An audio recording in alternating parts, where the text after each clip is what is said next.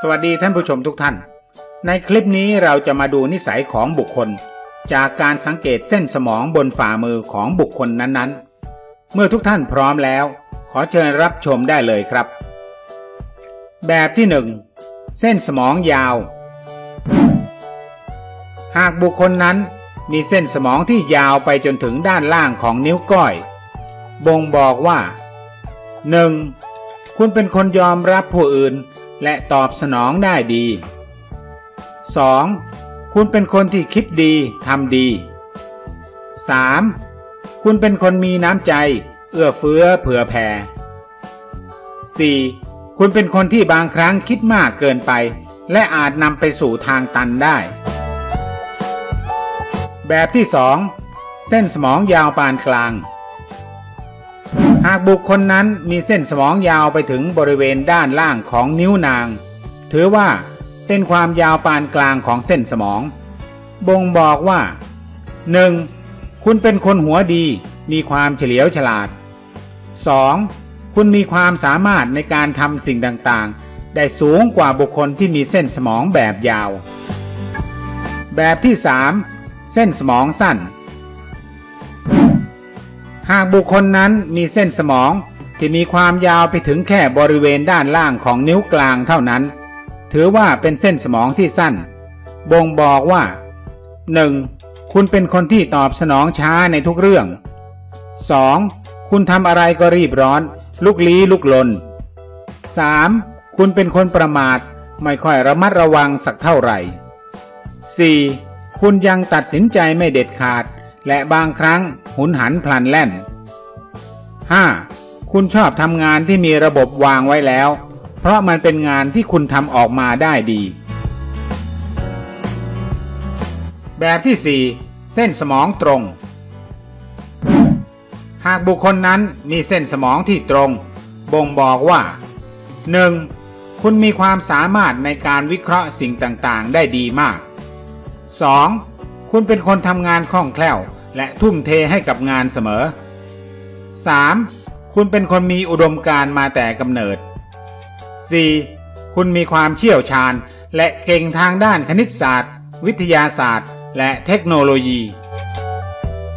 แบบที่ 5 เส้นสมองโค้ง หากบุคคลนั้นมีเส้นสมองที่โค้ง ดังที่เห็นในภาพ บ่งบอกว่า 1. คุณเป็นคนสุภาพอ่อนโยน 2. คุณอยู่กับความจริงของชีวิต 3. คุณเป็นคนมีมนุษยสัมพันธ์ที่ดี เข้ากับคนอื่นได้ง่าย 4. คุณมีความสามารถในด้านการสื่อสารมวลชน ประชาสัมพันธ์ สังคม วิทยาศาสตร์ และวรรณคดี แบบที่ 6 เส้นสมองโค้งและลึกไปด้านล่าง หากบุคคลนั้นมีเส้นสมองที่โค้ง และลึกลงไปด้านล่างของฝ่ามือ บ่งบอกว่า 1. คุณเป็นคนมีจินตนาการสูง 2. คุณมีความสามารถในการสร้างสรรค์ผลงาน และมีพรสวรรค์ในเชิงศิลปะ 3. คุณมีความสามารถทำผลงานได้ดี ในงานที่จะต้องขีดเขียน เป็นนักกวี หรือจะเป็นงานช่างที่เกี่ยวกับการใช้สีก็ทำได้ดีไม่แพ้ใคร แบบที่ 7 เส้นสมองตัดกับเส้นหัวใจ หากบุคคลนั้นมีเส้นสมองที่ตัดกับเส้นใจ แล้วส่วนปลายไปสิ้นสุดอยู่ที่บริเวณด้านล่างของนิ้วก้อย บ่งบอกว่า 1. คุณเป็นคนมีสามัญสำนึก แต่มีมากเกินไป 2. คุณรักในงานศิลปะ 3. ชีวิตของคุณ จะมีช่วงขึ้นขึ้นลงลงมากกว่าคนอื่น แบบที่ 8 ช่วงปลายของเส้นสมองโค้งลง หากบุคคลนั้นมีเส้นสมองยาวไปถึงบริเวณด้านล่างของนิ้วก้อย และปลายของเส้นโค้งลง บ่งบอกว่า 1. คุณเป็นคนใจดี มีความเห็นอกเห็นใจผู้อื่น 2. คุณมีจินตนาการสูง 3. คุณมีแนวโน้มที่จะมีโรคประจำตัว ที่ทำให้รำคาญใจ เช่นโรคเบาหวานเป็นต้น แบบที่ 9 ช่วงปลายสิ้นสุดใกล้กับปลายของเส้นใจ หากบุคคลนั้นมีเส้นสมองที่ปลายของเส้นสมองไปสิ้นสุดใกล้กับปลายของเส้นใจ บ่งบอกว่า 1. คุณเป็นคนมีความมั่นใจในทุกๆสิ่ง 2. คุณเป็นคนมีน้ำใจ และมีความสัมพันธ์ที่ดีกับคนรอบข้าง 3. คุณมักจะประสบความสำเร็จในอาชีพการงานที่ตนทำแบบที่ 10 ช่วงต้นติดกับเส้นชีวิตแล้วแยกออก หากบุคคลนั้นมีเส้นสมองที่ช่วงต้นของเส้นเท่านั้นที่ติดกับเส้นชีวิต แล้วแยกออกไป บ่งบอกว่า คุณเป็นคนแน่วแน่ มีการตัดสินใจที่เด็ดขาด แต่ในขณะเดียวกัน คุณก็มีความยืดหยุ่นอยู่ในตัวด้วย แบบที่ 11 เส้นสมองกับเส้นใจทับกัน หากบุคคลนั้นมีเส้นสมองกับเส้นใจทับกัน ในช่วงหนึ่งของเส้น บ่งบอกว่า 1. คุณเป็นคนชอบเก็บตัว ไม่ชอบเข้าสังคมอะไรมากมาย 2. คุณทำอะไรจะไม่ประมาท มีความระมัดระวังตัวสูง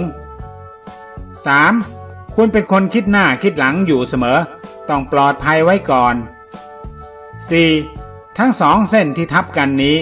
หากมีช่วงเส้นที่ทับกันยาวเท่าไหร่ ก็จะยิ่งมีความกังวลมาก ลังเลมาก และระวังตัวมากเท่านั้น แบบที่ 12 เส้นสมองกับเส้นชีวิตแยกออกจากกัน หากบุคคลนั้นมีเส้นสมองกับเส้นชีวิต ขึ้นแยกห่างจากกันอย่างชัดเจน บ่งบอกว่า 1. คุณเป็นคนเปิดเผย ตรงไปตรงมา และกล้าแสดงออก